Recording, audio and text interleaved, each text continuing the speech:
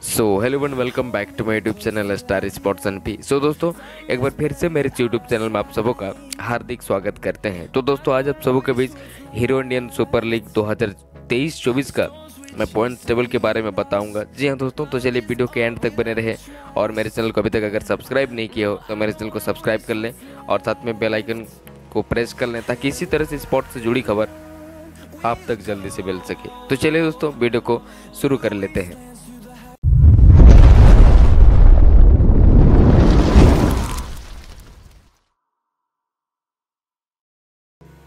तो चलिए दोस्तों, अगर बात करें हीरो इंडियन सुपर लीग 2023-24 का, सबसे ज़्यादा पॉइंट्स किस टीम का है?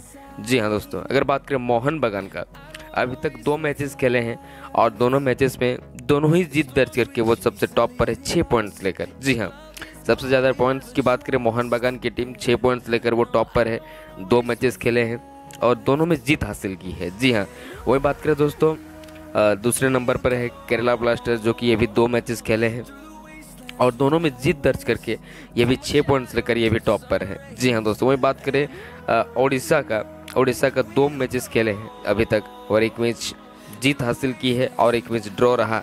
ये भी चार पॉइंट्स लेकर ये टॉप थ्री पर है। वहीं बात करें दोस्तों चार नंबर पर मुंबई सिटी एफसी है। जी हाँ दोस्तों, मुंबई सिटी की बात करें, दो मैचेस खेले हैं।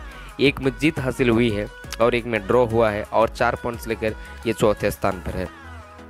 वहीं बात करें दोस्तों, पाँचवें स्थान पर ईस्ट बंगाल है, जो कि दो मैचेस खेले हैं। एक मैच की जीत हुई है और एक मैच ड्रॉ रहा है और चार पॉइंट्स लेकर ये भी पाँचवें स्थान पर स्थित है। वहीं बात करें दोस्तों, छठे स्थान की अगर बात करें, नॉर्थ ईस्ट यूनाइटेड, जो कि दो मैचेस खेले हैं और एक मैच की जीत हुई है और एक मैच की हार हुई है। तीन पॉइंट्स लेकर ये छठे स्थान पर है। वहीं बात करें दोस्तों, सातवें स्थान पर है हमारे जमशेदपुर की टीम, जो कि दो मैचेस खेले हैं। और दोनों मैचेस में जीत नहीं हासिल की है। जी हाँ दोस्तों, एक भी मैच नहीं जीते हैं जमशेदपुर। एक मैच ड्रॉ हुआ है और एक मैच की हार हुई है। एक पॉइंट्स लेकर ये सातवें स्थान पर है। वहीं बात करें गोवा की बात करें ज़ीरो पॉइंट्स हैदराबाद की बात करें ज़ीरो पॉइंट्स बेंगलुरु की बात करें बेंगलुरु इस बार जो है दो मैचेस में दोनों ही हारे हैं। और बेंगलुरु की बात करें, ये भी ज़ीरो पॉइंट्स है। पंजाब एफसी की बात करें, ये एक मैचेस खेले हैं, लेकिन ये भी लॉस किया है, ये भी ज़ीरो पॉइंट्स ज़ीरो पॉइंट से और वहीं बात करें चेन्नई एफ़ का।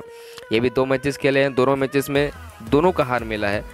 अंतिम स्थान की बात करें, चेन्नई एफ़ है। जी हाँ दोस्तों, चेन्नई एफ़ अंतिम स्थान पर है, दो मैचेस खेले हैं, दोनों में हार मिला है और ये ज़ीरो पॉइंट्स लेकर अंतिम स्थान पर है। और वहीं टॉप की बात करें, मोहन बगान की टीम, जो कि दो मैचेस खेले हैं और दोनों में जीत हासिल हुई है और छः पॉइंट्स लेकर ये सबसे टॉप पर है। वही बात करें दूसरे स्थान पर मौजूद है केरला ब्लास्टर्स, जो कि दो मैचेस खेले हैं। और दोनों में जीत हासिल हुई है और ये भी छः पॉइंट्स लेकर ये भी टॉप पर है। टॉप टू पर है। जी हाँ दोस्तों। तो चलिए, अगर बात करें, पाँच अक्टूबर को होने वाले मुकाबला जेआरडी टाटा स्पोर्ट कॉम्प्लेक्स में पुनः एक बार मैं आप सबको दोहरा दूँ। क्योंकि पहले वाले वीडियो में मैं आप सबको बताया था पुनः एक में आप सबको दोहरा दूँ।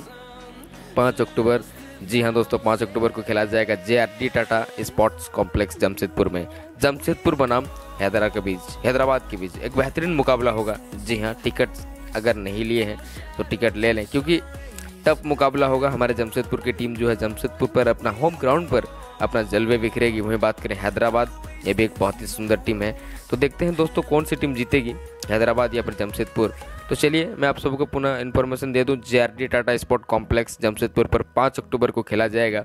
जमशेदपुर बनाम हैदराबाद के बीच तो चलिए दोस्तों, वीडियो कैसा लगा? अगर अच्छा लगा तो लाइक, कमेंट और सब्सक्राइब ज़रूर करिएगा। तब तक मिलता है दोस्तों एक नए वीडियो में। तब तक करिए जय हिंद दोस्तों।